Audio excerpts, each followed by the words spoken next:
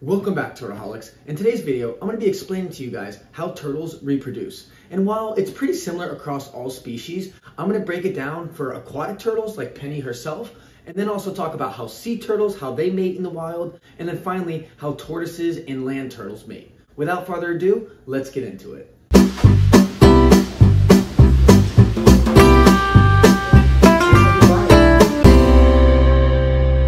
Starting out with aquatic turtles, the main way that they mate is essentially having the male turtle mount themselves on top of the female turtle.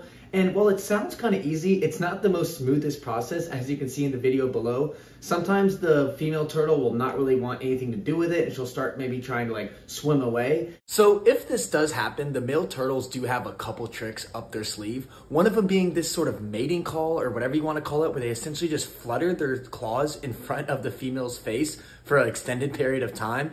And eventually, hopefully the female turtle, she is impressed, and then she finally does let the male turtle mate with her. But it is pretty interesting because this mating call uh, or this fluttering of the claws is actually also used between males when they're trying to assert dominance between each other. So if they're getting territorial or one of them's trying to, you know, go up in the hierarchy of the other turtles, they might actually do this exact same fluttering of the claws to try to intimidate each other. But like I said, it is used in mating and, you know, they can try to flutter it in front of their face. But also, as this video shows, sometimes they'll also try to mount on top of the turtle and then start to flutter the claws. But as you can see here, it's not always 100% success rate.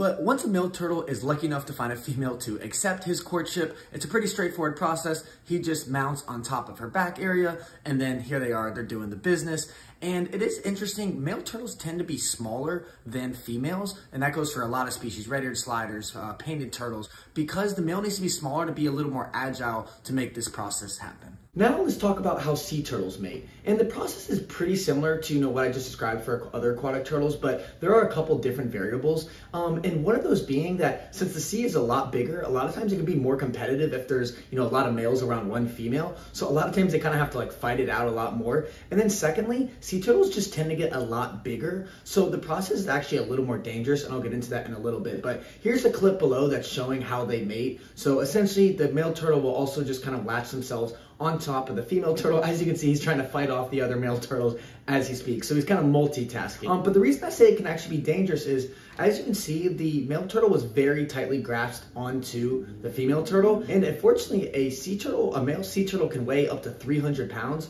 So if you can imagine, it's pretty hard for the female turtle to kind of like maneuver once a male turtle latches onto her.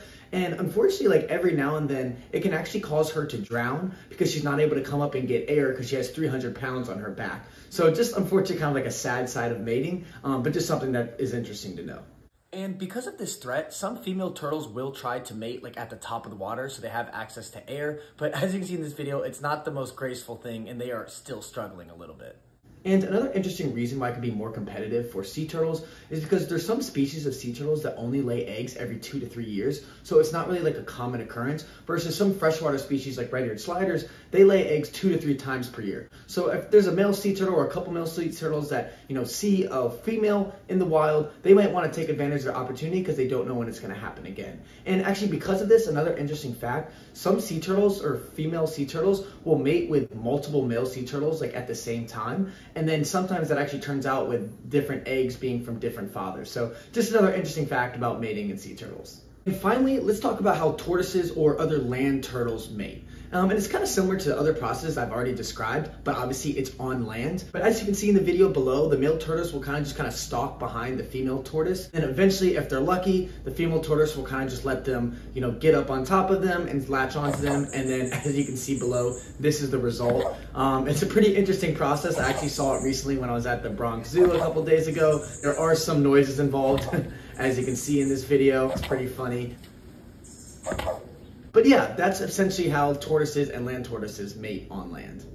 And then once the eggs are fertilized after mating, it does depend on the species, but most turtles or female turtles will hold on to the fertilized eggs for a couple weeks and then they will go and create a nest. And just about every single turtle makes a nest on land. And it's pretty cool because as you can see in this video, basically they'll dig a hole with like their back legs um, in the mud, or if they're a sea turtle, they'll obviously do this on the sand.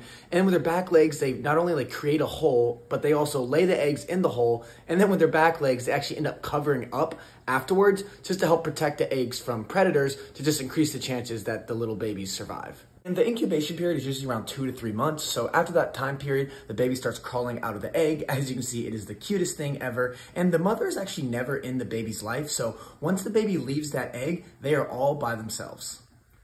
So that's it for today's video. I hope you found it helpful. I hope you learned something. And who knows, maybe one day I'll be able to get Penny here a little male tank mate for herself. And with that, me and Penny, we'll see you on the next one.